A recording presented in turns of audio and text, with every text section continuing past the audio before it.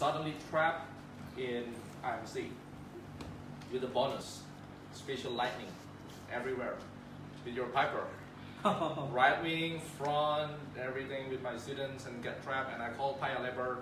Uh, we got heavy thunderstorm. Uh, I just asked them, are, are we around the south? That's the most important part. Otherwise, we cannot make it, right? I don't have weather radar. I'm not on the IFR. I just fly VFR and suddenly trap. And I call, we change to IFR. I don't know the procedure here, whether we can change that right away like in the US. Like we did before, remember? Mm-hmm. We just changed it. And that became viral. That my huge mistake. And a lot of Americans, pilot, even examiner, FAA aviation inspectors take a look to that videos and I drop it down. Really? Yeah, it's become big issue in the, I think East Coast every. Oh, right. Uh, Because, uh, uh, because that, that was my mistake. We pick up the clearance after we enter the clouds. I see. That's a problem, right? So we, we talk about that later, but that will happen, this thing. Then I got trapped in the clouds, lightning everywhere, and my student is freezing out. What should we do? Not just relax, it's easy. But honestly, I scared. I started to pray, right? Because of lightning. then I asked Paya Lebar, just put me in front of the final runway 21. Now we take IFR, so we land safely, the ceiling was low and the thunderstorm. We're not afraid about the ceiling, but we're afraid about the cells, right? So why do we need instrument rating? Like I said before, instrument rating is like your insurance. That's your best investment in your life. You, you don't need commercial license if you're not flying for a commercial, but definitely if you want to become a better pilot, you will get your instrument. So if I have to choose one word about instrument rating, it's all about management. Instrument rating is management that will train you to become a precise pilot, safer pilot, right? From now till you fly the Airbus A380, you're gonna fly IFR, instrument, right? So that's the point for um, for tonight. So I fly twin engines. I fly the, the Citation 5 for now and do some tr- uh, training on commercial single engine. Sorry, instrument. I teach people to fly instrument too.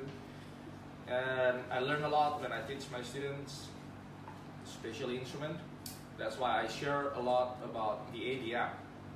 Because the key of instrument flying is your decision making. Learning about instrument, you will learn to abort your flight. That's the worst thing. When I was in private, I don't know anything, I just happy to fly. Fly, fly, fly, don't care about the weather, don't care about anything. Then the more I learn, the more I jump deeper on the instrument, okay, I don't have any options other than cancel my flight. That happened like two months ago when I have to fly from Van Nuys to Santa Barbara. It's only like 75 miles or something, yeah. And we plan to fly a little bit uh, on the offshore, like maybe to Santa Maria and San Jose, but the whole uh, west of California, Southern California, has become icy. So I call the weather uh, the briefer, right? You have that in the US, that they said there will be AIRMET Zulu on your en route. Then what are you gonna do? Right? IMC. Mm. The first is IMC. AIRMET. AIRMET is the, um, the significant weather, like the important weather, significant weather for every pilot who flies small airplane. There will be like three AIRMET. The icing, the turbulence, and the mountain obscuration. It means that IMC. So the IMC is fine, we can fly. We are instrument rating pilot, right? But the icing, when we fly like Piper or Cessna, you are not certified for the icing. You don't have a boot. You don't have the icing system. And that moment, then we cancel our flights.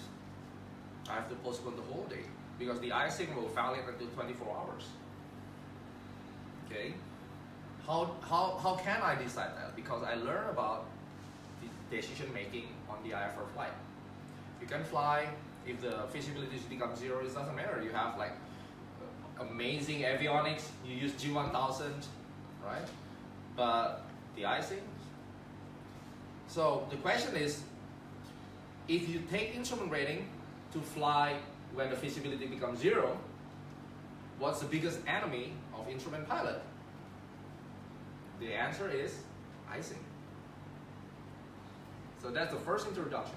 Why do you need to become instrument rating pilot? Because you love your family, you want to go home safely, of course, right? And you want to extend your option. You cannot fly VFR, but you can fly IFR. But who wants to fly IFR if there's IMC? That's why I'll keep asking why you need instrument rating. While the weather coming, you cancel your flights. So what's the point? So the point is just just in case you trap in the adverse condition, then you can return home safely. And number three is what is the biggest enemy of instrument rating pilot? The answer is icing. Okay? So any moment, any time, if you have the visible moisture and the temperature is like about 2 degrees, 3 degrees until minus 7, there's a huge chance you got icing. Then icing will kill you. So that's three things that you have to consider. You got the privilege to fly under IMC, but you cannot fly on the icing with a zero visibility inside the clouds A really scary moment. Alright, make sense? Okay, so you can beyond the VFR limitations and cloud is not no longer your enemy. Enjoy the full service of the ATC. What I like from instrument is I don't I don't need to care about the airspace. I don't care about the traffic because once you're IMC, the responsibility for the see and avoid is transferred to the ATC. Right. Flying US is really complicated on the airspace, a lot of airspace violation. So if you fly like 300 miles, 400 miles, it's easier for you to fly instrument because they take care all about your airspace, even though you have to pass through the Bravo airspace, mm-hmm. like you flying Long Beach, a lot of Bravo airspace, right? We are flight following. Yeah, flat following. Then right away in the ground, because flight following wherever you go, right? They settle with that. So it's same with the instrument. You fly along to San Francisco or wherever, then practically, if the weather becomes VMC, then you will cancel the IFR anytime and mm-hmm. you become visual approach. So that's what I mean. You want to enjoy the full service of ATC in routing, departure, and approach. They take care of your flight. Okay? So I believe a lot of people here, um, some of you already jumped to the, the instrument rating training. You, you got your instrument, right? But we're talking about the FAA instrument standard, and I'll share why FAA is, uh, I mean, like more practicable and more reasonable. Okay, but how to get instrument rating? For my standard, I always uh, motivate my students to, to, to complete their knowledge test before even touch the airplane for the instrument training. Because a lot of people stumble around, they're flying, right? And finally, they cannot get their instrument because they don't complete their knowledge test. And they will find a hard time to understand the whole concept of the regulation if they don't do the knowledge test. That's why I always suggest just get the knowledge test done and fly. Okay? So five minutes after you get your private, you can start officially learn about instrument rating. Fly with the double eye, and you can lock the hours, fly under the hood. Anyone know how many hours you need? Flying under the view limiting device? 40 hours. So everything about the instrument rating and the 61, 65, that's all the regulation you need to learn about. Okay? And then you need to have 50 hours pilot in command. Cross country. So what is cross country? Anyone? More than 200 miles. 200 nautical miles. Then everybody be, become bankrupt, huh? we have to fly to Penang and coming back for each. How about you? What is cross country? A flight from point A to point B. That's definitely the definition is if you're flying from here to Senai, that's cross country, right? But if you're looking for the 61.1, that's the specific definition for cross country. if you're taking the cross country for your aeronautical experience toward your rating or certificate, there will be minimum 50 miles, 50 miles from point A to point B straight line. So you cannot done go to uh, Senai and you do a touch and go or do um, Gunung Pulai for maneuvering. You fly more than 50, but the straight line is only 18 miles. So that not count. Remember, when you go to the check ride, the first thing the examiner will take a look on your logbook whether you have the cross country pilot in command, 50 hours, and they will take a look to your route. If he is not really uh, familiar with that route, they will open ForeFlight, SkyVector, they just put it, they need a straight line 50 miles distance. Okay? And then 40 hours flying with the view limiting device. Simulated. You're flying two hours, maybe you fly like 1.8 because the 0.2 you have to put off the hood and land, right? So it's uh, 40 hours and knowledge stats 70% minimum score. It's easy. Now, we already discussed, the biggest enemy for IFR is icing, and the other one is spatial disorientation by unqualified pilot. Why we say unqualified? I just lost my friend. His name is Mark. He's a nice guy, and his daughter is pretty, is really pretty girl. And he fly Hawkers and some jets, right? He also like contract pilot. So one day, it's like, it happened on April 2017 I flew with him several, my parents jumped too. So he flew with uh, the other guy, his friend, with whole family on board. Fly with I, I don't I don't know the, that's a single engine, the bigger plane, maybe Saratoga or, or the, the bigger the bigger uh, piston single engine. The new avionics, I think Garmin 530. He's not too familiar with that. Okay, and he take chances, he fly it, and got trapped in IMC he changed to IFR. That seems right, right? You have to change to uh, IFR if you cannot maintain the separation with the cloud. And what happened? He, I think he was busy. People think that he was busy with the avionics because he was not too familiar with the new Garmin 530. And guess what? He owned like 5,000 hours.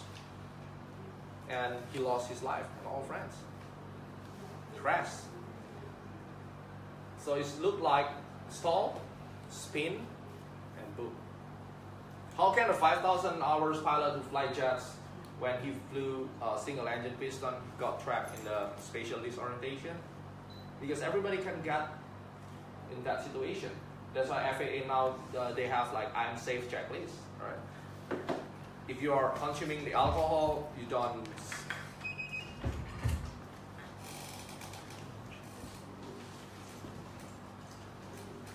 and you don't sleep well, right?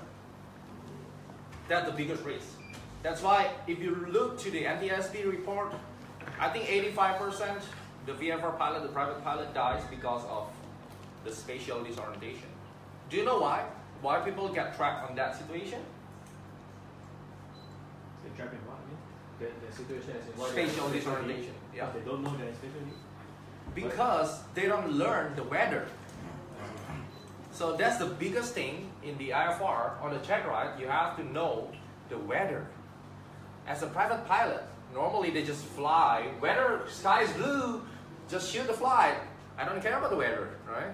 But if you fly like 400 miles, weather changes.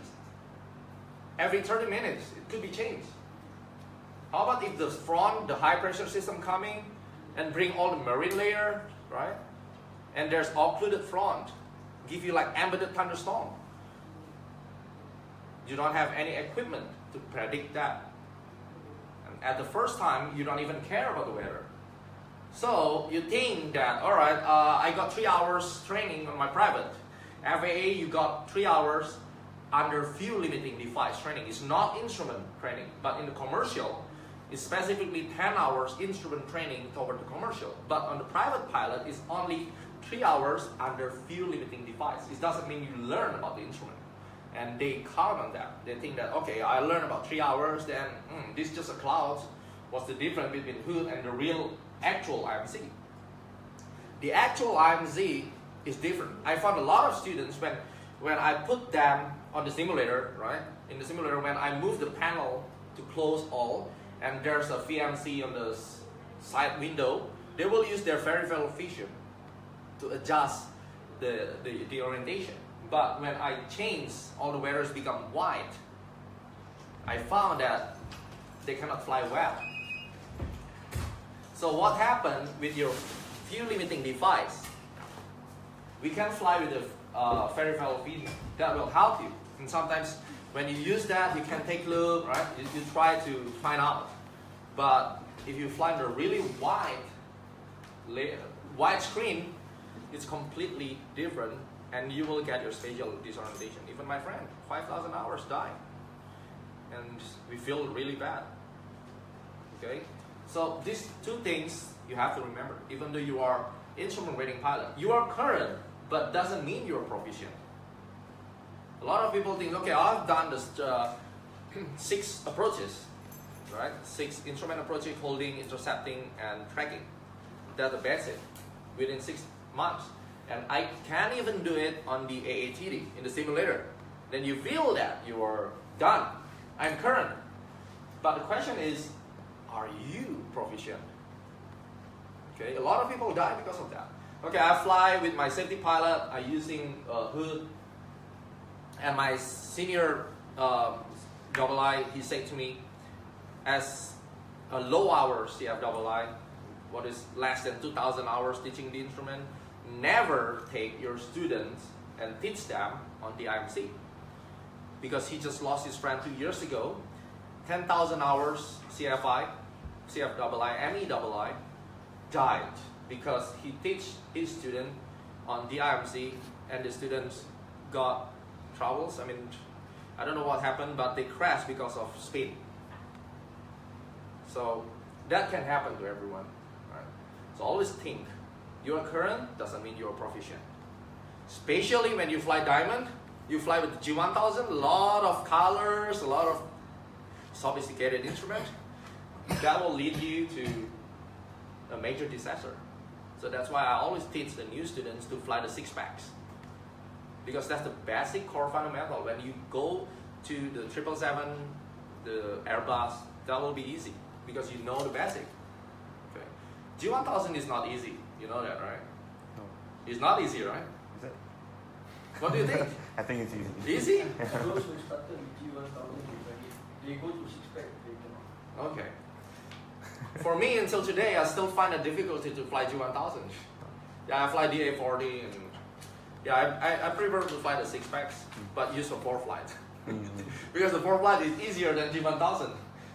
Okay? So, what is the fundamental of instrument flying? That's a new ball game for everyone. We have three things here.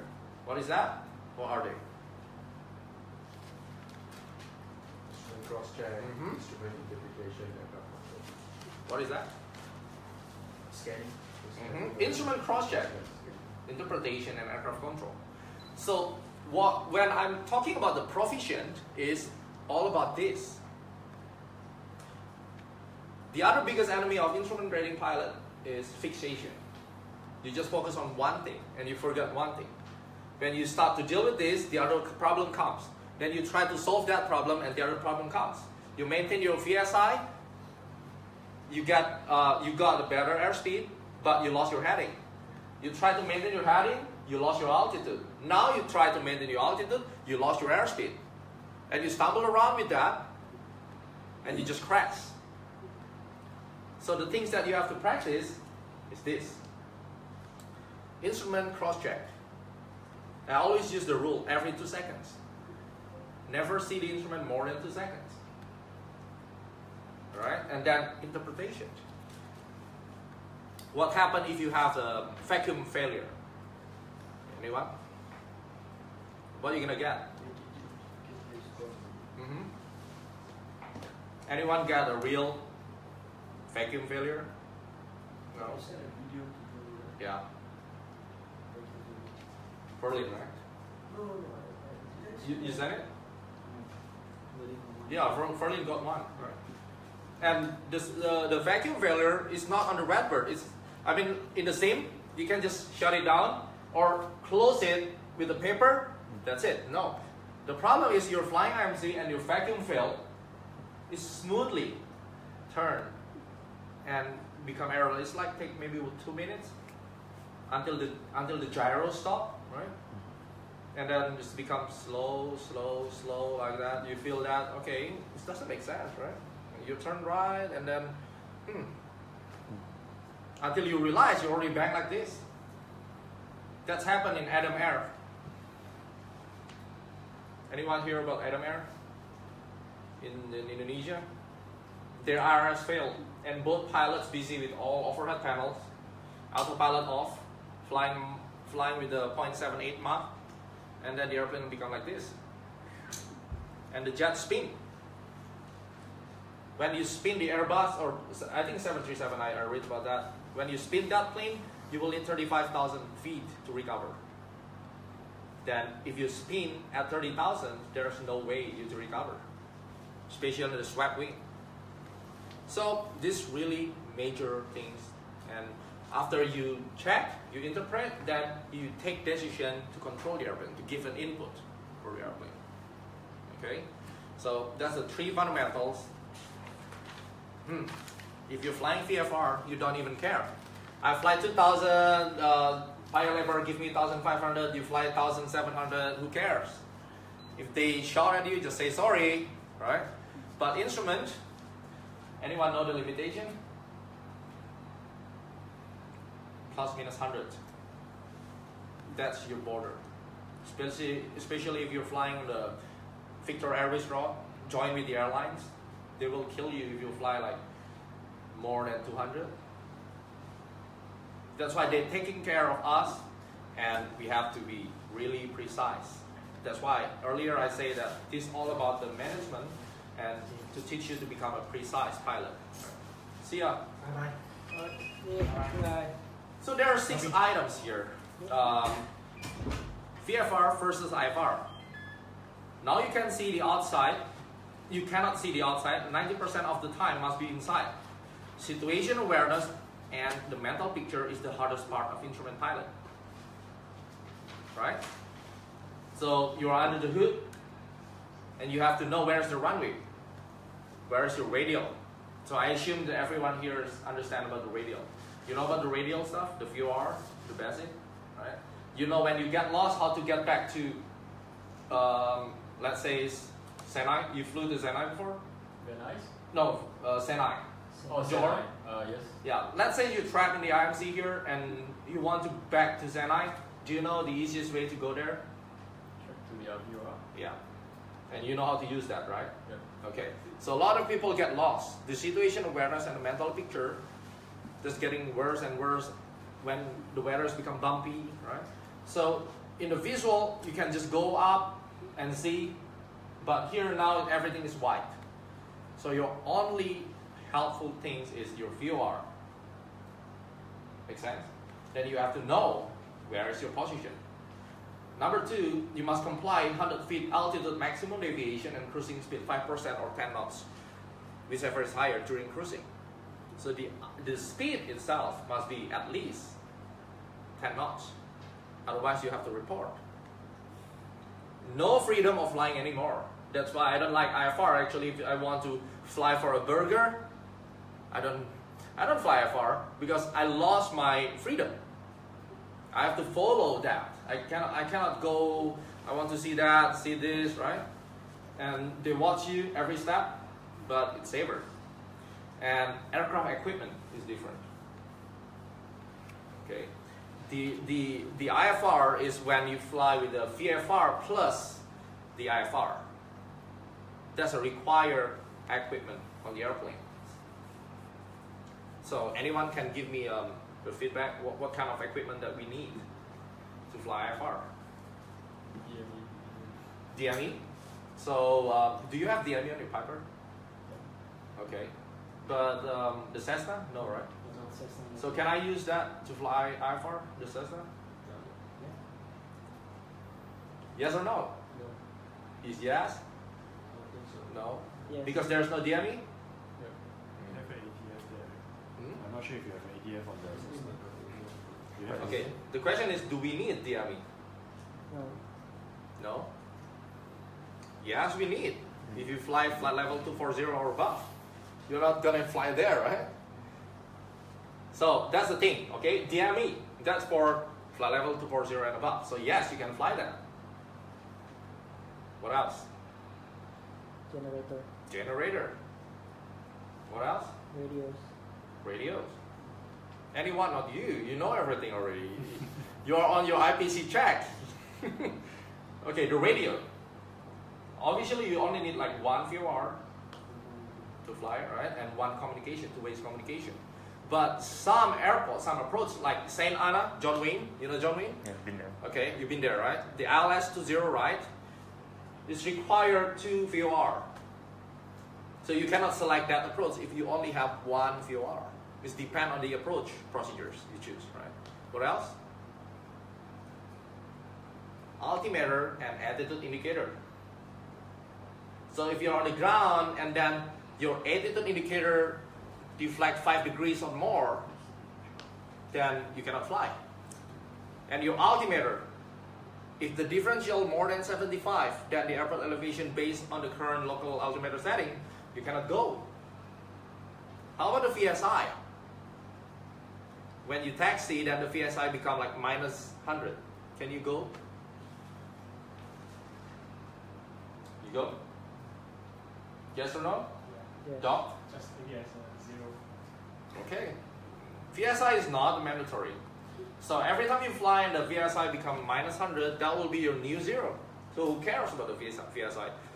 You always have speed to define your rate of descent, right? Okay, so what else? Clock.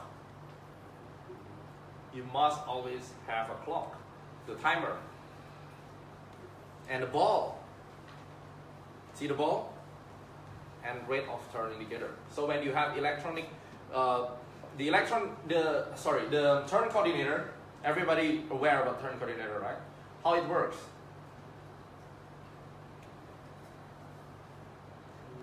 Radar. hmm How it works? What the source of Gyro is. With a vacuum or Electric. electric gyro? That's why every time you turn on the battery, you hear the noise. Mm, That's a gyro. Alright? So that's the equipment that required for the IFR. So the VFR plus the IFR, the, there's a mnemonic, grab card. G is for generator, R is for radio, right? A is for attitude indicator, and B is for ball, C is for clock, A is for altimeter, R is for rate of turn, and D is for DME, flight level, 240 or above. So that's the thing. That's the aircraft equipment is different. So when you get a failure on any equipment, this is, works on your VFR too. So you got inoperative. What are you gonna do? Now you have your um, one of equipment, let's say it's VSI, right? Out of surface. The VSI just drop more than 100 or maybe 500, something like that. And IMC there, what are you gonna do? So I will blend this course with the uh, ADM, the aeronautical decision making, give you the workflow, how to identify, mitigating the risk, right? So you got that problem, you. Mm, well, I can still fly partial panel. Like I still know which Partial panel? like I can still I can still get back safely with with one equipment out. So I just need to be aware of like which Okay, equipment so how, how you get, how, how exactly the workflow to check whether you can go with that item or not? Hmm. Let's say tomorrow, you're gonna fly, right? Everybody here is current to fly, right? So tomorrow you take the Piper or Cessna and some instrument out. How you define whether you go or not? The first step is minimum equipment list, right? Do we have minimum equipment list? Just the grab card. This one. Anyone? Let's talk about that after this, okay? Do we have MEL? We do. You do? Okay. Do we have MEL? What is MEL? Minimum equipment. list. What is that? The minimum equipment that you need to fly. No, the minimum equipment that could be inoperative and you can still fly. Right. That's why we minimum equipment list. Mm. But the question is, do we have MEL? The answer is Saleh airplane, he has MEL. But for us, no, we don't have MEL. What we have is the 91 205. Okay, that's a tomato flames and a grape grab car under 91 205. If there's nothing there about your equipment, you will go to 91 213 because the 91 213 is the mother. Must be VFR day certification, must be 80 compliant, right? Must be 91 205. And if there's nothing there, what are you going to do? Where are you going to check? You will go to your POH. Take a look to your equipment list. There's specific there, like stall warning. Do you, do you need stall warning? Is there any stall warning in the um, 91205? No stall warning, but it's required under the equipment list. There you cannot go if your stall warning gone, right? And if there's nothing there, what are you gonna do? Then you go to the type certificated data sheet. You can go to the FAA website for the specific model, you download the TCDS. And you take a look your model, your serial number, then you find any specific the equipment that must be operative. If there's nothing there, then it's become on your personal minimum judgment. For me, I like VSI because if I shoot the ILS, I will hit the VSI as my primary. The VSI will give me airspeed. Okay, you can calculate from the slope of the ILS. Three degrees angle of the glide slope will give you like five to 600 VSI. As long as you maintain that, your airspeed will be good. If you take a look to the airspeed, your airspeed is going higher. I believe I can bet your VSI is going like 800 to 1000. Right? So if the VSI, my VSI out, and I have to fly IMC instrument, I'm not going. That's my personal minimums. So that's how you're mitigating the risk of flying based on the inoperative equipment. okay? So that's instrument. Okay? So in IFR flying is not about flying the needle and shoot the approach, but it's a new philosophy of well flying management, thinking few steps ahead. That's the main problem for the VFR pilot transition to VIFR. You were really busy to set up your cockpit management, set all the frequencies. When you are on the final approach fix, you start to descend to land, you're gonna think about what I'm gonna do in my approach. So a lot of people say, every pilot, the goal is to do a go round. The landing is just a bonus. Okay? So you always think about how, if this, how, if that. So always think like two steps ahead. You never think like, okay, I just, that's a runway, I just go there, and your ceiling is like 1,000, you clear out of the ceiling.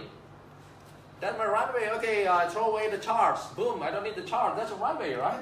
And suddenly there's um animal, there's a dog. And the ATC is go around, and you go around and you go back to the clouds. And you find out that you just throw your chart away.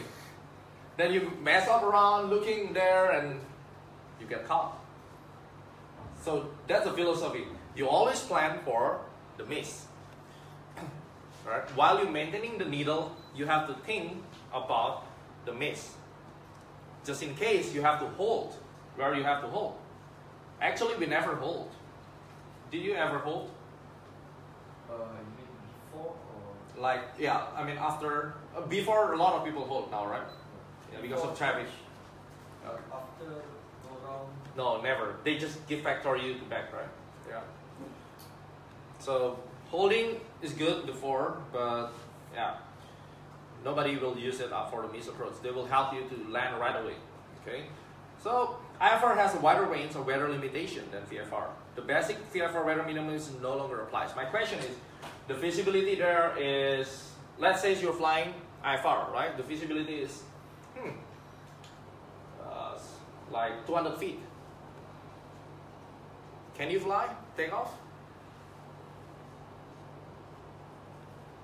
IFR? Do we have a minimum for takeoff? How about you?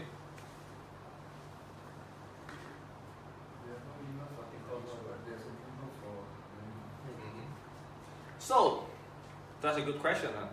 A lot of people think is why there's a minimum. I'm IFR pilot. Who cares? So yeah, there's no minimum for Part 91, but for you, it's a one mile. The Part 121, 135 is one mile. But if you fly like A380, 747 with four engines or three engines like a Falcon, you have half miles limitation. But as the Part 91 pilot, will you fly with the 200 feet visibility? That will be un- unsafe, right? You're a reckless pilot. That's why it's always good practice to upgrade yourself to become to absorb the limitation of higher standard like 135 or 121. But for the landings, let's talk about the ILS. So everyone familiar with the ILS, right? What is ILS? Just the system that guide you down to the runway, maybe 200 feet above the runway. The question is, if you're flying IFR and you shoot ILS, what is your landing feasibility minimums? Do you have a minimums? What is airport minimums? Now you're flying in the Senai, ILS Zulu, or yeah, whatever ILS there. Do you have minimums? The feasibility? That's an approach. hmm That's an approach. Approach? Yeah. The, the problem is the approach is not showing you the feasibility minimums. Because uh, as long as you uh, once you hit the MDA or, or rather, uh-huh. uh, oh yeah the, the, the DA and prior to that uh, you can see environment runway, runway visual environment lighting. But can why you shoot the approach if on the cruise level Mm. you already know the visibility on the airport? You maybe want to divert before you shoot the approach. Uh, you, you are asking if we ask what, what is the what is the cloud What is the minimums? Yeah, you're right. I mean, there's a there's a number there, right? But what is the general of the ILS?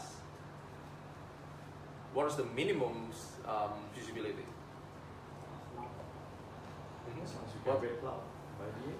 No. All right. The category one ILS, right?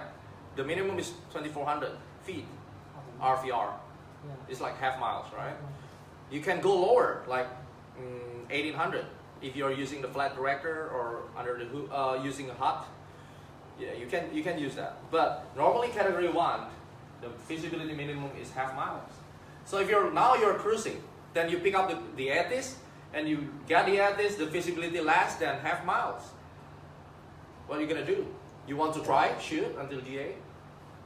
Divert. Divert. Divert, right? Maybe you hold or read the tab. Make sense? So that's the basic thing. You know your takeoff limitation, you know your landing limitation. What is the visibility minimum? A lot of people think that ah, I'll say, okay, I can just go down until DA and then I shoot again. Why you shoot the, the approach if you know you're not gonna make it because there's the visibility is lowest. Right? Even the ceiling. How if the ceiling is lower than the DA? Why should you why you have to shoot the approach? So that's what I mean. We think like two step ahead. Why we have to pick up the ATIS? Anyone here when flying to Johor pick up the ATIS? No. I always pick up the ATIS. When I call the Paya Lebar and when they move us to Johor, I will inbound with Echo, inbound with whatever. Alright? You always do that, even though it's like only 10 miles, don't care. The weather changes. So you have to know. Always tune the, the ATIS 12305. Yeah. Always tune the ATIS, alright? Get information. So that's about the weather minimums, I think. Um, for the, the en route, this doesn't matter. You can fly with a zero visibility unless there's no icing. Then go.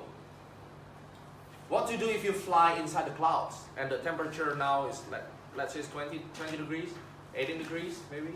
You fly like 9,000. I flew to Hat Yai that time. I flew a diamond from here, uh, 11,000 feet. And temperatures goes down to like 11 or 12 degrees something. So what are you gonna do? You fly inside the clouds. You know there's a clouds there. right? You have a one minute out, one minute back, back on track, try and divert out. You are IFR. There's no thunderstorm. And this is my aircraft, uh, IFR exit. Yeah, yeah, yeah. You already IFR. You, you fly IFR, and then you have to fly inside the clouds. So long as the dew point is, the temperature is high, then the dew point is high. Mm-hmm. So what happens if the temperature and dew point spread is become like the same? Then you gotta watch out for uh, icing either descent or because of low altitude. All right, no. Whenever the temperature and dew point become same, the visible moisture is come, right? The, the, the air cannot hold anymore. It's like a Harry Potter's, you know, the blanket of Harry Potter. You put it there and you become invisible, and you put it out and you you can out. So that's where the air. So temperature and the dew point become same. You see the cloud, haze, whatever. Right? The problem is the clouds are already there, and you go through that way. What is the best course of action? Turn on your anti-icing. Just stand by for the carb heat. Stand by, right? If you're flying diamond, you don't need carb heat. You fly that old Flintstone ship, you always need the carb heat. That's why when, when I fly, like when I see the temperature is 25, humid, visible moisture, I don't care. Carb heat on prior to landing because I need that on my go round.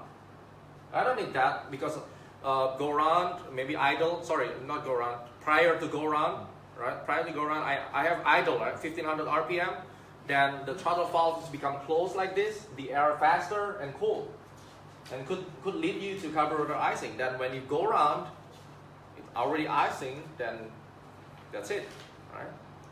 So turn on your anti-icing. So we think more in the IFR. There's a cloud. It's not about I just turn around. Sometimes that's the only airway you can fly on. Right? If you go separate from the airway, there's obstacle limitation. So you guys know the airway, right? We have airway. Specific airway. What we call that? What airway? Victor Airways. Okay, the instrument, there will be a low level instrument and high level instrument. Saleh will never fly in the low level anymore. You always fly like high level. So we fly the Victor Airways. He always fly the J route, right? Because that's jet route. We fly the Victor Airways. So what the Victor Airways guarantee you? That's why I love instrument. Columns and uh, distance from obstacle. Mm-hmm. How, how wide? There's numbers depending on the based on the GP. I think there's certain numbers, and then above a certain uh, altitude, there's based on 50 miles, 60 miles. Of All right. So here's the thing: the Victor Airways is always designed by the minimum IFR altitude. That's the key. Why do you want to fly IFR? Because it guarantees you to not hit anything. Then we call that minimum IFR altitude. In the Victor Airways, you have MEA, right? Minimum what? En route altitude. What does it guarantee you? How high? It's a thousand feet or two thousand on a mountainous area. And how? What is the width? Two miles. It's a four miles both side. Four miles both side. Four and four. Okay. So you cannot just go avoid the clouds. When you call, okay, there's a thunderstorm, we request for deviation. Vector us to avoid the, the clouds, right? Especially when you're descending. Then maybe they will give you MVA. What's that MVA? The minimum vector altitude. They're not specific on the chart, but they know exactly what's the exact safe altitude for you. That's why we have to think, okay, on my route, I have clouds. Is that a thunderstorm cell there? No. Okay, that's fine. Is there any icing risk? Okay. No. If there is an icing risk, so then, thanks. Then we have to turn on our anti-icing. Right? This thing we don't think when we fly VFR. Okay? Next page is like this.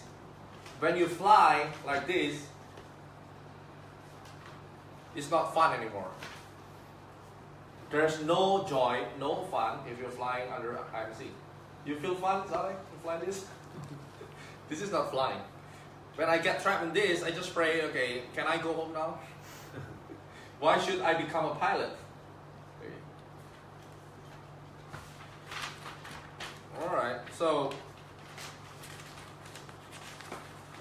now about the pilot. We already discussed you have to consistently take care of currency proficiency every six months, and the other biggest thing in the IFR is your lost communication. Your IMC white, and your radio out, burned. What are you gonna do? Free. What are you gonna do? Can you imagine that? Clouds all white, right? You're climbing. And you call Paya Lebar 10 times. No reply. No joy. You're out. You fly to Malacca. What are you gonna do? The last, yes, last approved or last instructed, and then if that doesn't work out, you're gonna go down uh, as flight as per file or something like that. So, think about that, right? Scott says It's a hijacking. You get escorts. Free access. You go have like So that's the thing, okay? The lost call. We're gonna discuss that in the next meeting, but at least that you're aware when you get a radio fail, all time the nav and the radio is separated. But now when you lost one radio, you lost all. That's a problem. And you should know the detail of the flight instrument system. What's gonna happen if the pitot, right? The drain hole clock, in flight. the drain hole behind. In flight. Mm-hmm. Because of icing, right? Even the as. Yeah. Or let's take it easier. How if the ramp and drain hole clock together?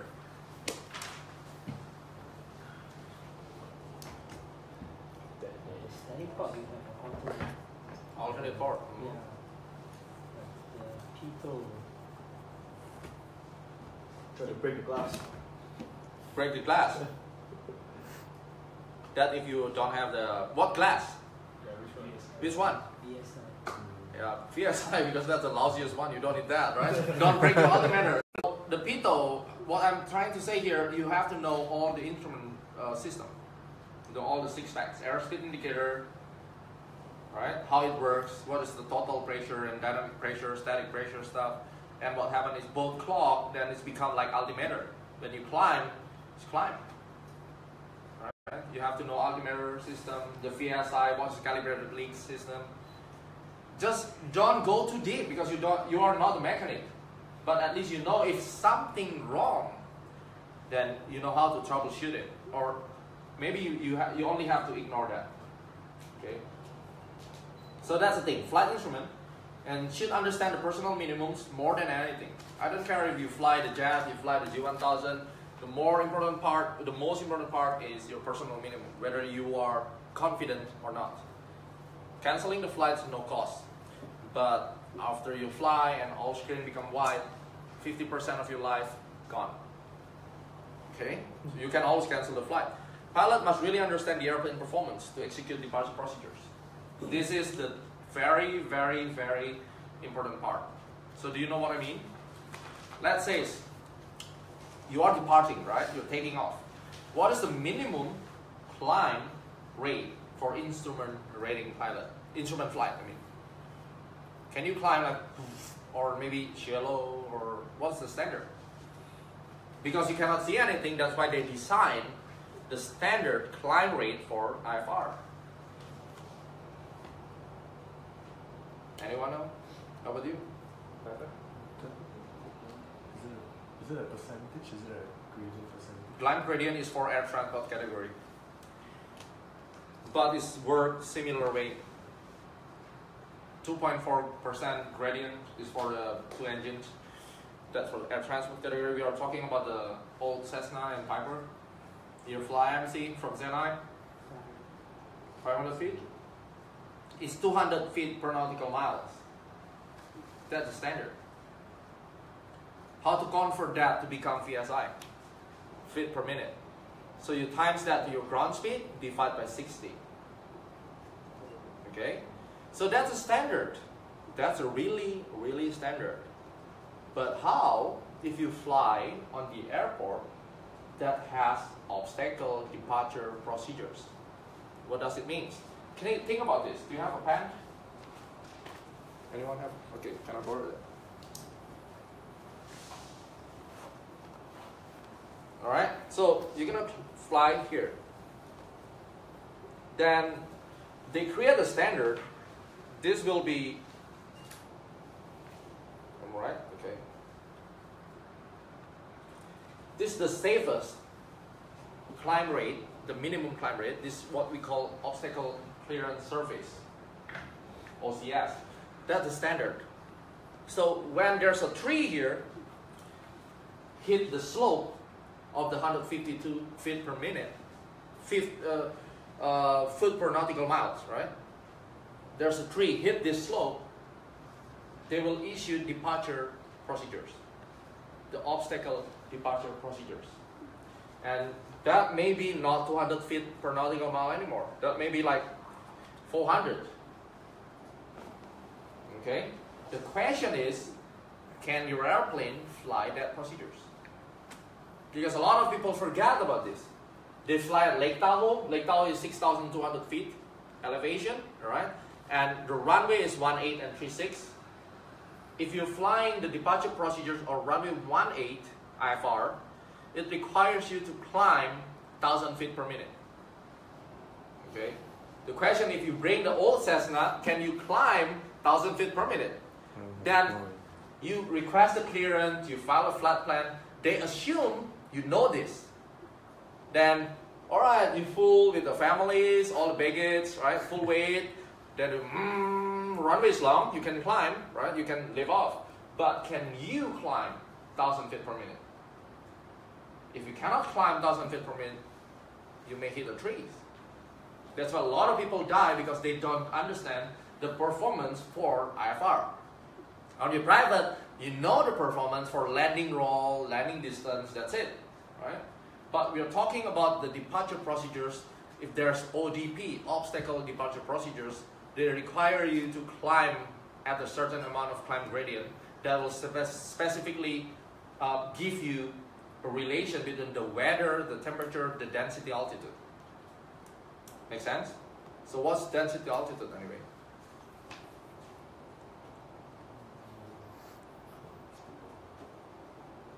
So we can forget the G1000. You may forget to how to track the VOR because tracking the VOR you can you can just learn it like an hour, but you cannot forget the density altitude. Because the density altitude, if you forget that, you will get killed. You never be killed by forgetting how to track the VOR. You can just confess, I'm lost, got me. But if you forget the density altitude, that's it.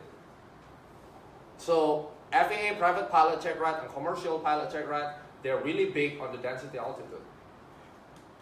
So anyone? Density altitude? What's the elevation here? 35, right? But the question is, is your airplane thinks that it is in the 35 feet? What do you mean? The thing is, whether it thinks it's on 35 feet. The plane. So we know the elevation is 35 feet, right? But when your airplane on the runway, the altimeter show you 35. Okay, okay.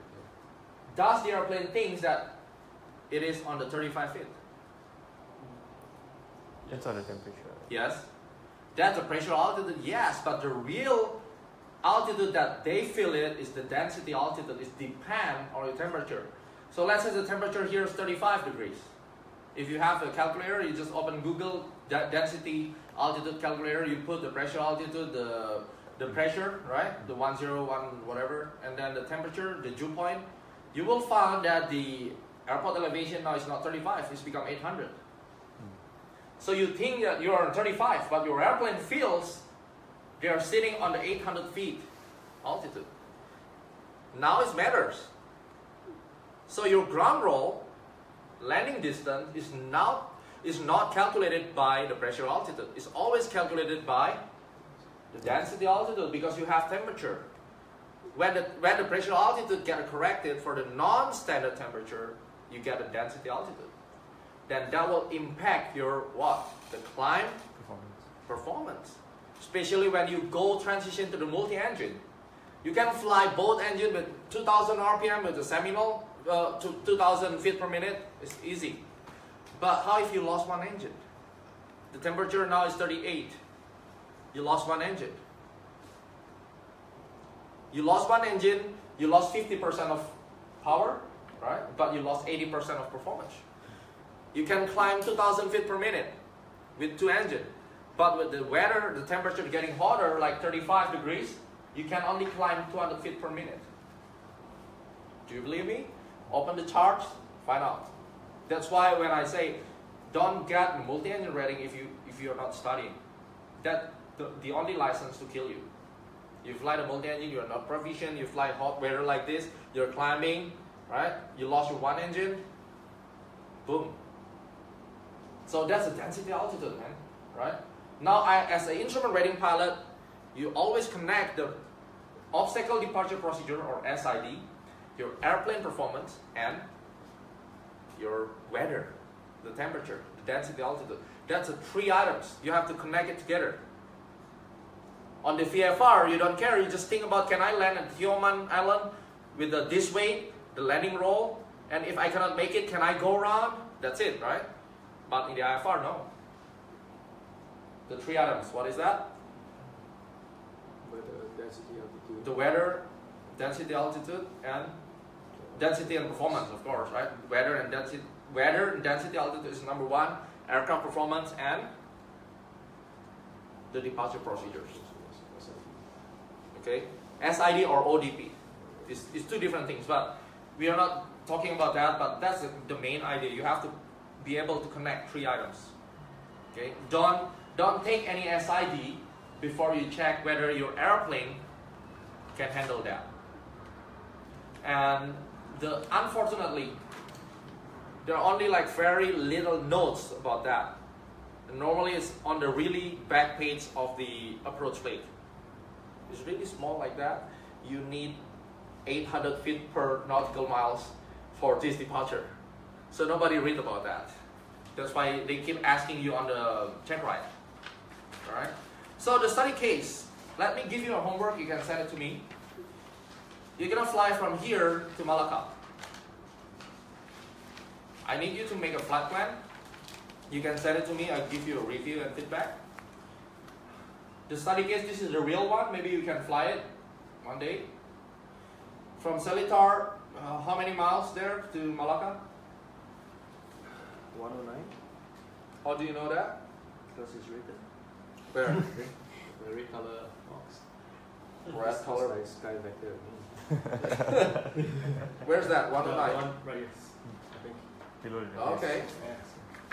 But if there's no it looks like Australia. We can 68 plus 30, it's uh, 6 or 8. Yeah, I think it's, I think 98, right? Yeah, 98. 98. Yeah. Mm. Okay, so do we have um, minimum altitude here?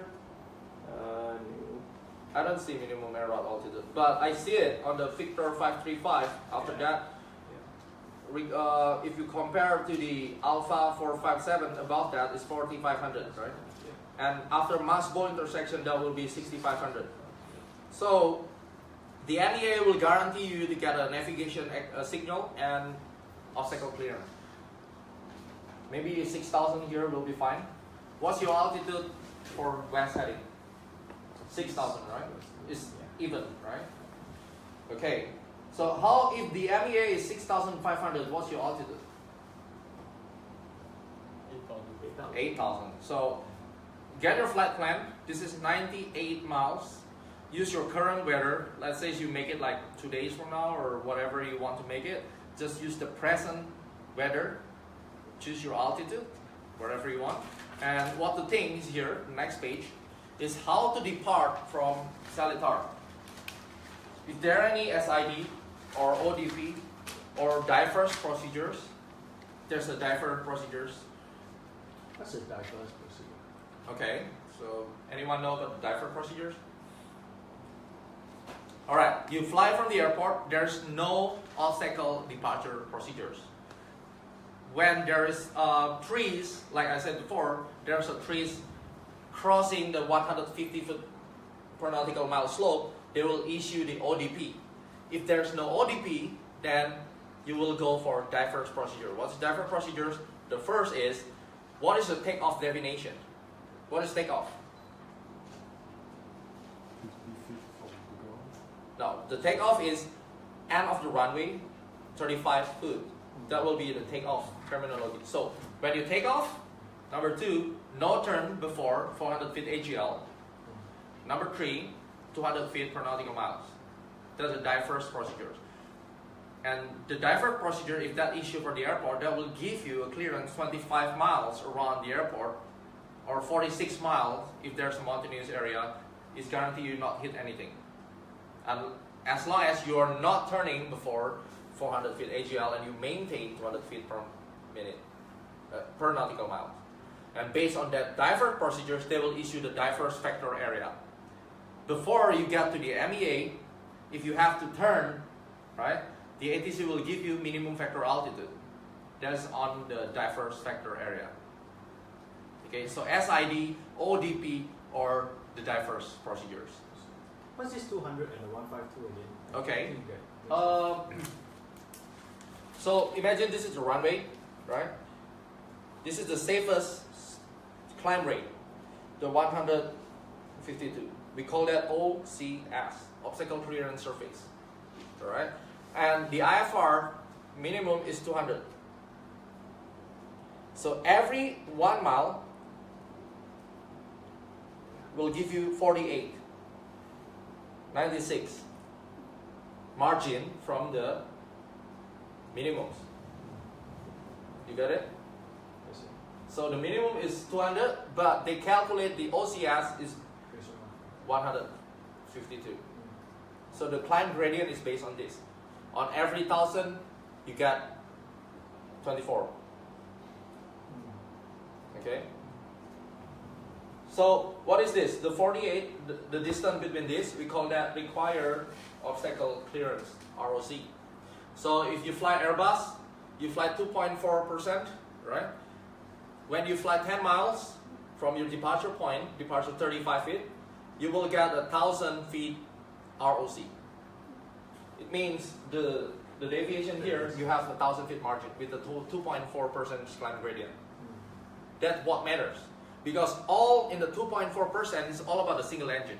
The KRH is not about the normal. It's all about if you lose one engine, can you maintain that climb gradient? That's it. Okay? So as a single engine pilot, what you concern is can you maintain 200 feet per nautical mile to beat the OCS? Alright? So that's the OCS. So that's what you want to know as instrument rating pilot. How to join the en route Airway. Because all the departure procedure is all the thing about to bring you, alright, to bring you from the surface to the airway. So this is the airway. You're coming from this, right? How to bring you to join the freeway. Let's say this is the highway. So you go, you, you're gonna fly from here to here. How to bring you from this point to this point. Then we have the departure procedure. So how to fly? Uh, what's the what's the airway name? Uh, Whiskey five four three. How to join that airway from here? What do you think? Follow the SID if there's one. Is there any SID in Seletar? No. No SID, right? So is there any ODP? No. To? So the only way to join that is Vector, direct. weather factor, Yeah, yeah, I mean, I need to right? So the clearance will be climb runway heading, 3000, on left turn after how many miles DME and join Victor Airways, that then resume on navigation. That's it. And you have to tracking. Alright, number two is answer to join the en route airway will be radar vector. Number three, can your airplane performance flight the departure procedures? We already discussed that. What is the weather on the arrival time? Do we need an alternate? The question is, do we need to file alternate? If um, the weather at the arrival is or one hour after is below minimum. And one hour before and one hour after the ceiling. How about the ceiling? Less than 2000. 2000 and the visibility less than 3 7 mile then you have to have alternate The question is how to choose the alternate, Roy.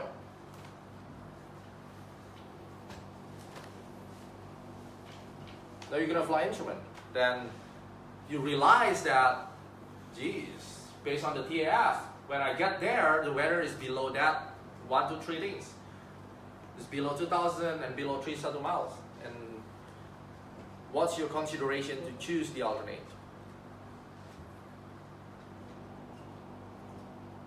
Must be of the weather. So it means it means that you cannot fly to that alternate if there's a weather. So don't choose that. Don't choose that alternate. So you that. have to choose the VFR alternate. How if there's no VFR alternate? You fly uh, from here to San Francisco, right? In the middle of the Pacific, you just got a news. Okay, when you get there, the weather is there, is below the minimums. All this Northern California and the Southern California will be all icing and IMC. What are you gonna do? Go back? Transit at Guam? Honolulu?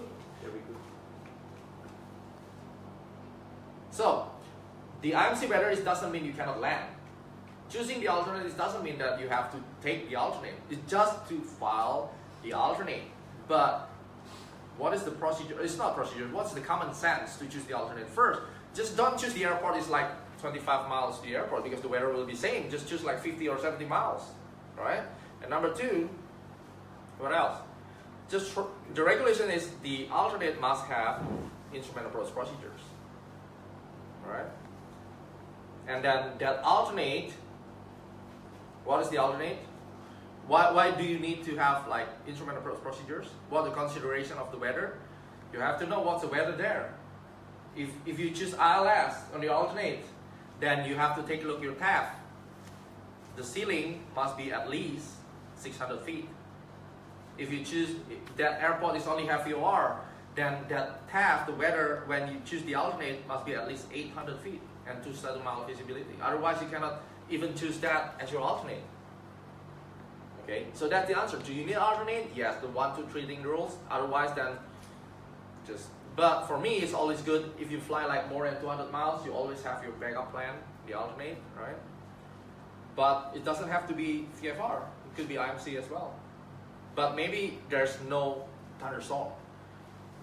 Because why we have to execute the alternate? Maybe there's a wind shear or the visibility is zero, or maybe there's a thunderstorm just above the airport, you cannot fly, or there's an icing, then you have execute to the other airport, which is the same IMC, but no cloud is just stable weather, just a hazy layer, something like that, right? And what's the fuel requirement? Last 30 minutes? 30 and 20 minutes. 30 minutes for IFR. I think Mm-hmm. 20 minutes for VFR. Anyone? You're gonna try? What is IFR? So why are we concerned about this? Because you need to hold. It's all about your weight and balance. How many fuel you can bring. If you fly from here to Penang, then you know that I'm not gonna make it because headwind or whatever. Then you have to define, decide. Okay, maybe I stop in Malacca, refuel, and go because I have to comply with the fuel requirement. The Part 91 fuel requirement. What's that for IFR? So you have to have the fuel from point A to point B. You have to have a fuel to the alternate plus 45 minutes on the cruise power. Okay, the three layers. That's it. If you cannot make it because you have to bring all the um, stuff, the surfing stuff, fishing stuff, then you have to find a place to refuel. That will um, change your flight plan, change your whole day plan. Right? What's your airplane equipment to accept the instrument approach procedures? Be careful. If you don't have DME, then you shoot the approach to maybe uh, Penang or wherever, then every approach plate will give you DME required. Can you shoot that approach? No. Right. So practically, even though you are instrument rating pilot and the airplane is IFR certified, you cannot even shoot that approach because all the instrument approach will require you to have DME. Then when the weather become bad, it just seems like a VFR. So you have to know what's the specific equipment required by that specific approach. Alright? So, see the shootable approach procedure and star if needed. If you're not familiar with DME arc, don't do the DME arc. Okay. And that's the VOR approach. Let's open the Malacca VOR approach. I have one there. So you're gonna fly to Malacca. What you're gonna do is, I need you to have this. I have two copies. So this is AIP. In US, you have chart supplement, right? So everything about Malacca, as instrument rating pilot, you have to read this. And every single detail. What's the procedures, what's the backup plan, what's the emergency, and whatever in here. Because the, this is the new game. i never been to Malacca. So when I'm gonna fly there, that's why I print this. I will study from front to back, the whole. Alright? So that's the thing. Now we, now we open the Malacca VOR Yankee.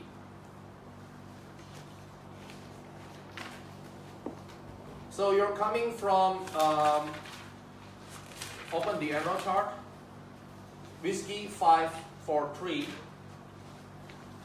From what radial is that? What's the radial? 117, right? So in this case, from the Malacca, from the approach chart, where are you gonna be? From the southeast, right? Yep. So you're coming from the southeast to the Malacca VOR. Let's say there's no vectors, you have to do the do the full approach. How you get into the VOR Yankee Malacca? You're coming from the southeast, radial 117. Enter at 2005, right? The meter might kill. Sorry? Yeah. You enter 2005? Meter might kill. No, probably you enter at the whatever height that your last had. Let, let's talk about the route first, and then we talk about the altitude. Right? So how to execute this approach for the full approach? November to 180 Echo, uh, be- due to the traffic, just shoot for the full approach. Then what you're gonna do? So we do a sector entry to the hole? Do you need a hold there? Um, probably not. So what's the difference between the bold line and the thick line and the regular line? Thick line and the regular line. Which one is that? The this one? Yeah. That's the procedural turn. Yeah, so that's a procedure turn. Then you have to come in with a procedure turn. From Malacca, what heading you gonna do? B 206, right? You're gonna turn 206 unless they ask you to hold. Yep. You turn 206 and then what? Six miles, make a right turn, 251. Alright. And then I think. Uh, if you don't have DME, how to identify the 6 PMK? We got a.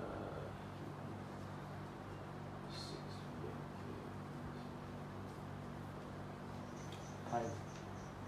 Time? Just read, read carefully on the chart. Every information you need is published on the chart.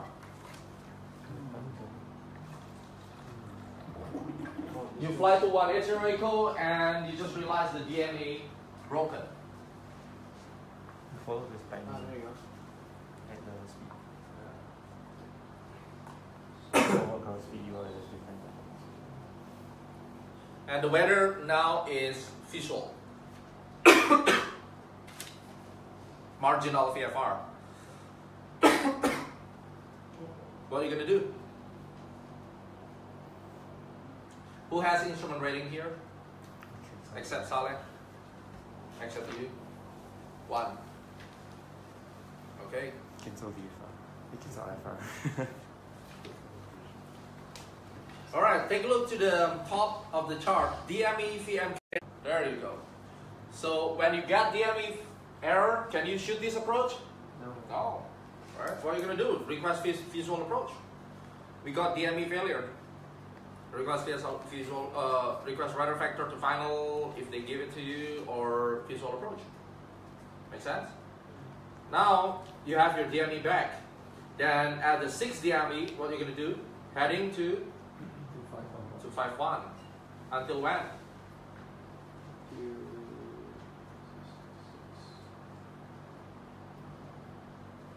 Twelve. Until when? Twelve. What? Twelve. Yeah. How do you know twelve? Yeah, me. I saw the chart. It turns following the east twelve. How? How to see that? Oh, okay. The scale. Yeah. Is that right? Is depend on the speed then, right? Based on. Yeah, 12 DME? Yeah. It doesn't. Yeah, it's just based on DME. So it should. Yeah, yeah, yeah. You, you, you can use that as reference, yeah. 12 DME, huh? Exactly. Agree? Exactly. So it's like 6 DME outbound. Alright. Or time, right? The procedure turn has a time. One minute procedure turn. See? So one minute go out or 12 DME and then you turn back to 071. What we call this is the course reversal, the procedure turn. Then after that, when you go to 0 to 6,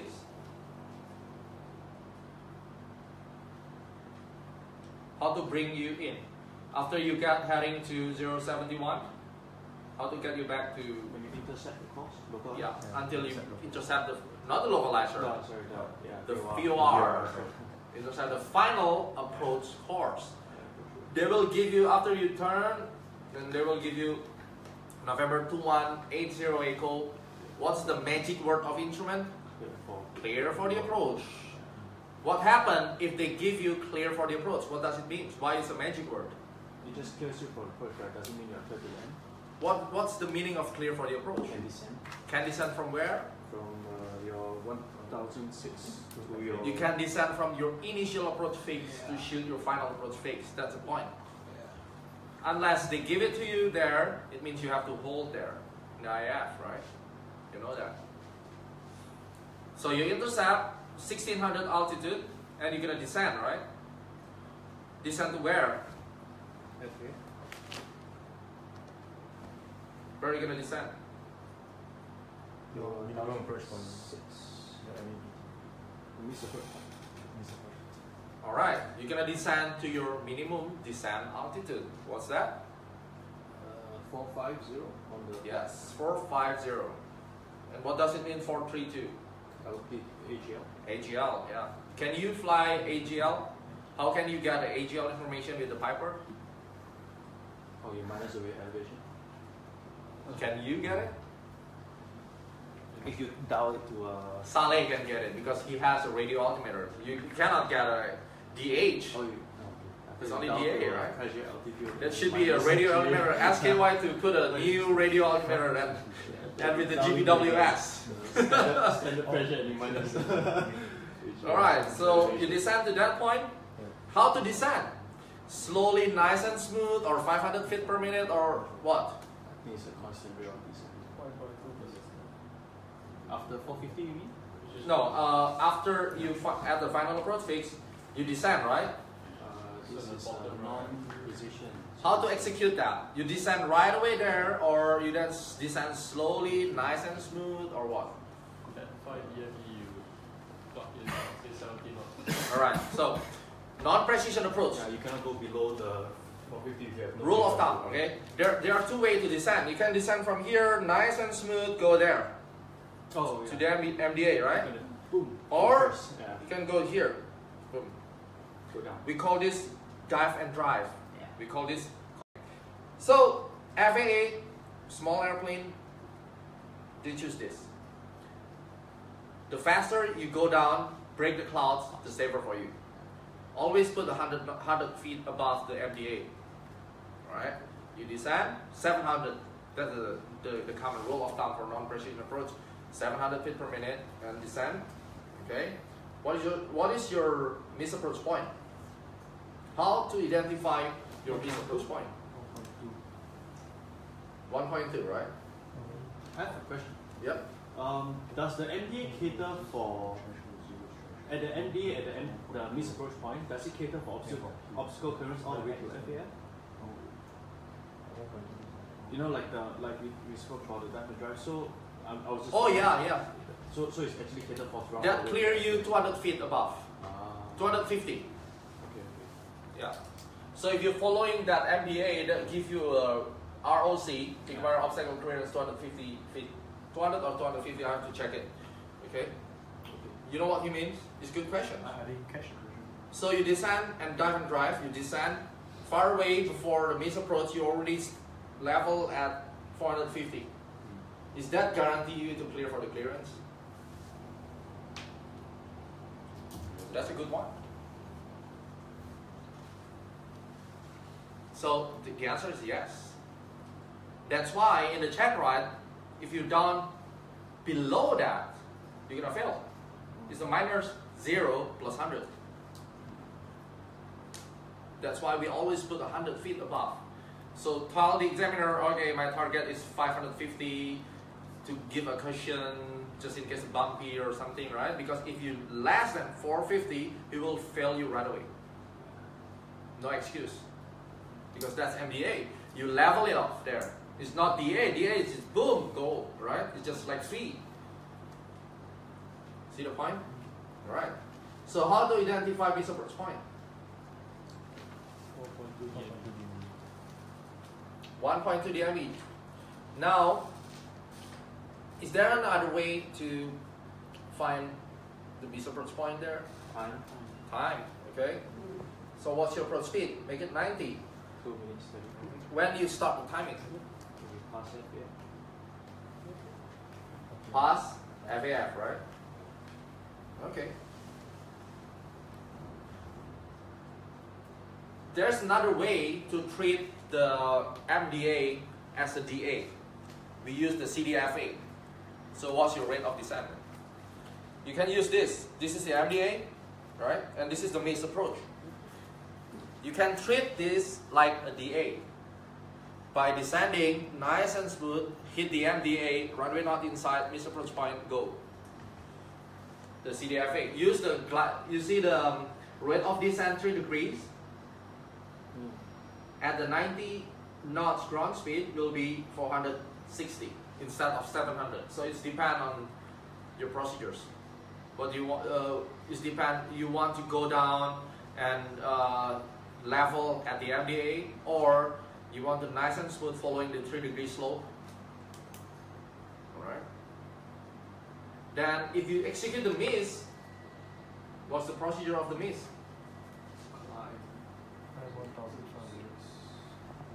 Then right here. Read the miss approach. Climb on 0 to 6 to 1500, right? Turn right, track to VMK, and hold. Then you think, at the miss approach, you already know if I have to miss, what is my holding entry? Direct, Alright, go ahead. What's your holding entry? direct. Right? Roy?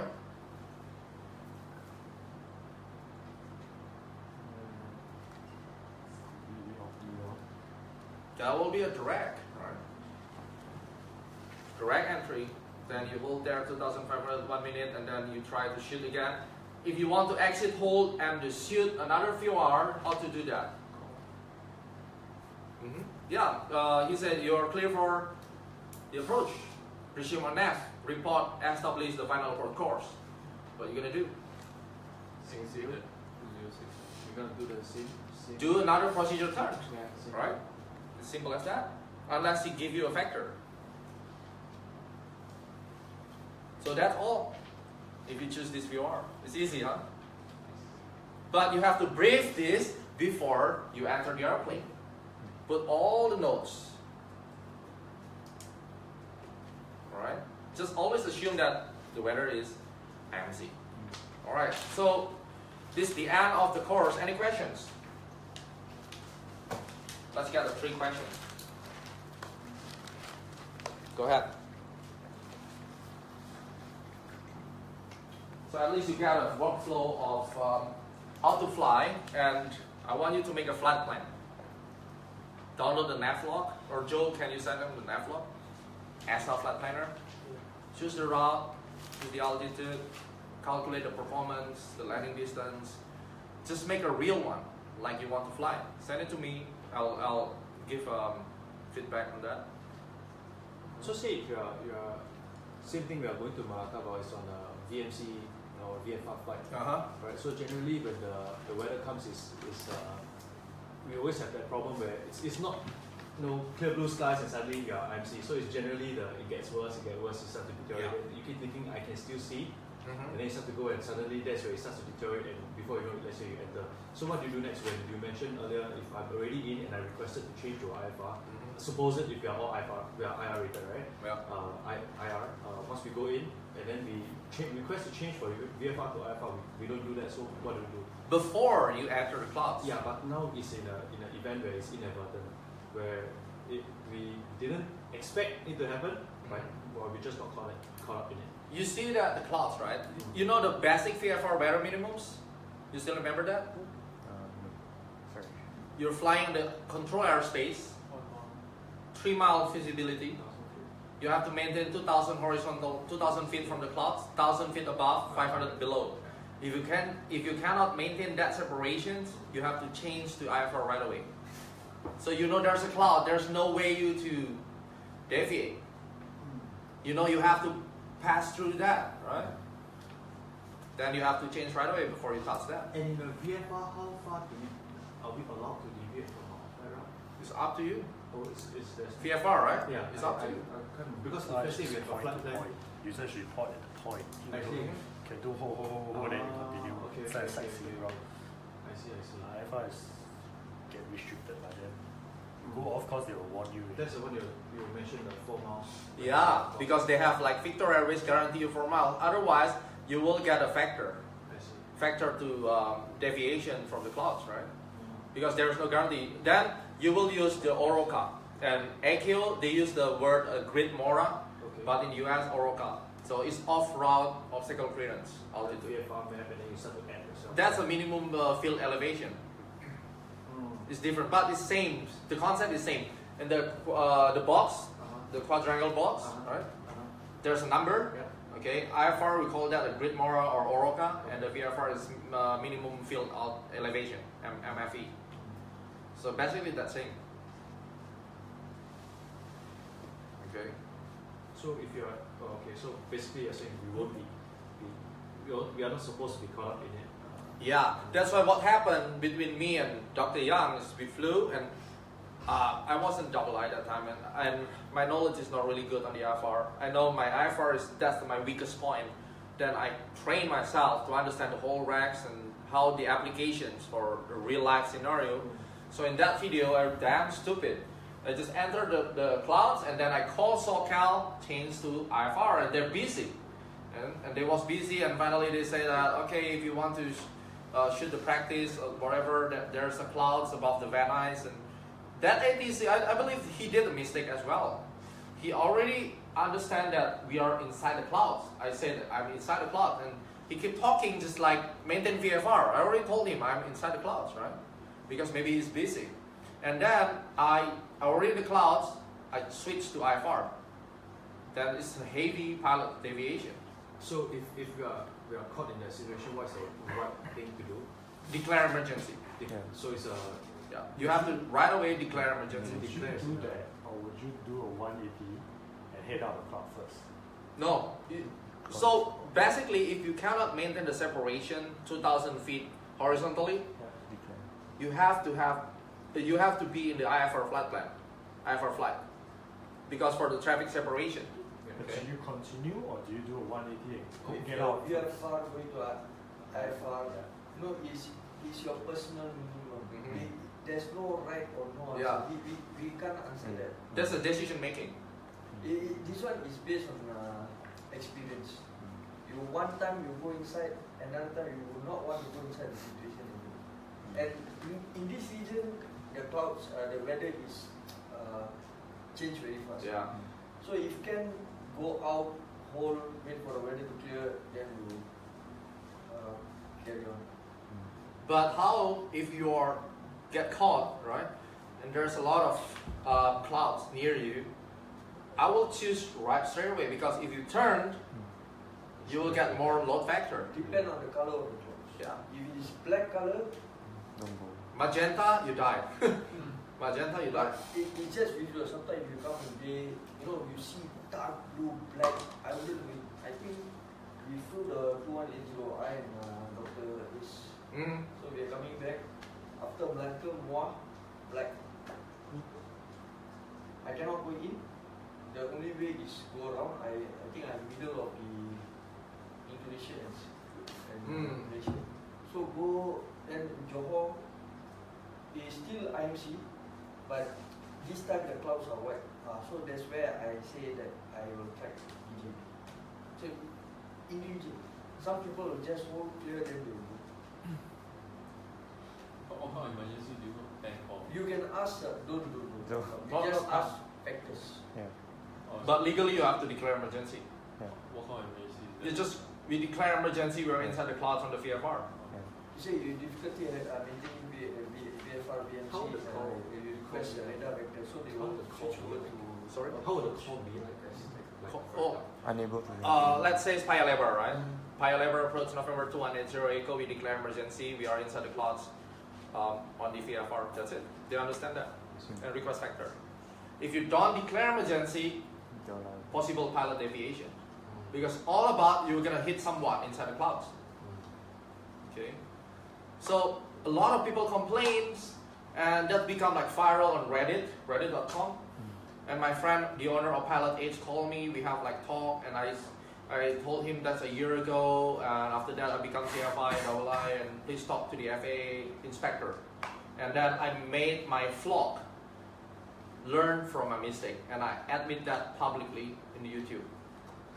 And I teach them how to not become like me. That's the only way. Confess, make a publication, that's it.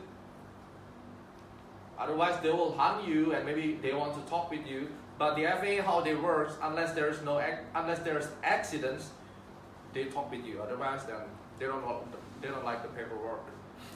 Because after that, I keep upgrading my uh, ratings, right? Then I become CFI, double ISO, discovered.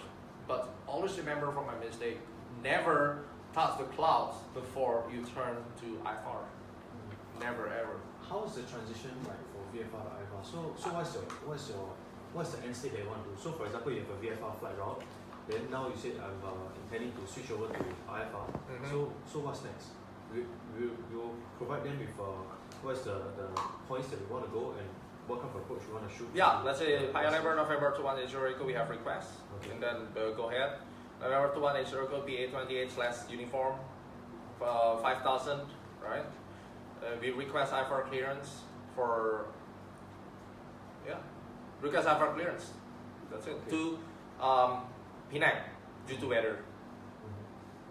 But one thing in Malaysia, they ask you, give you a lot of points, like Mars, Go. Yeah, so so this is the, the, the part where I was confused about. So in the air, if for example you say no, I would like to request uh, uh, IFR clearance into um, Malacca, for example, and then you'll say okay, clear IFR. But do you give you vectors or will they? That's why you say PA28 slash uniform. because you're you're. They know that you slash uniform, you have transponder, you have DME, but you don't have GPS. Mhm, Then if you have GPS, you say you're slash golf. mhm. They will give you all the RNAV route. So on the air, they'll start to plot you Yeah. routes and then you start to The work flights, your you track the view around. Yeah. Yeah. Uh, Fly to Marno. How to get Marno? Sabus. okay. Cannot, if without a 430, you can't do that. Yeah. You, you cannot go, go unless you bring your, your Garmin, but it's not certified for a boat, right? Yeah, start to open the charts. There's no in the charts. I see. I mean, you cannot connect that with the Victor Airways or, or anything. That's a like specific fix. Hard. Okay. There's no cross radial. I see, I see. So that's all, right? So I will email you. If you're looking for the instrument ground, uh, we're gonna make it a ground school for instrument. The short ground school give you a basic understanding, throw you all the um, scenario based like this because your checkride will be like this. You make a flat plan, he will throw you with all the scenario, all the race thing. Then you have to tell the story about that, right? So that will be three days. I upload, uh, I give you um, the flyers there behind if you want to improve and try to get a train in the AATD and then after that you can use the Piper or Cessna I can fly with you to make sure that you understand how's the real world of instrument, the limitation, right? So feel free to join and I'm really happy to share more. Right? Is this in US or Jakarta? Um, Jakarta or Singapore. Uh, prefer in Jakarta because we have the AATD there, and uh, you can be there like 24 hours. It's up to you. So actually, what we our culture is we don't count an hour basis. I hate that because when I learn to fly, when my instructor always count, okay, you already learned like five, six hours, right? You feel that, right? So after that hours, they don't want to even talk with you.